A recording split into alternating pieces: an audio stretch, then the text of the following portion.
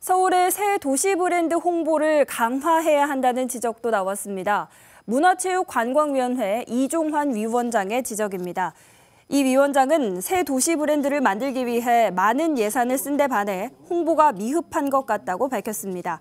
또 새 도시 브랜드가 지속될 수 있도록 만전을 기해 줄 것을 당부했습니다. 서울시는 시민투표와 디자인 선호도 조사 등을 거쳐 지난 8월 서울의 새 브랜드로 Seoul, My Soul을 내놓은 바 있습니다. B tv 뉴스를 더 많이 보고 싶으시다면 여기 구독 버튼을 눌러주세요. 추천 영상도 누르면 바로 재생됩니다. 또 다양한 서울 소식을 보고 싶으시다면 휴대폰에서 가지 앱을 다운로드 해보세요. 저희 B tv 뉴스를 시청해주셔서 감사합니다.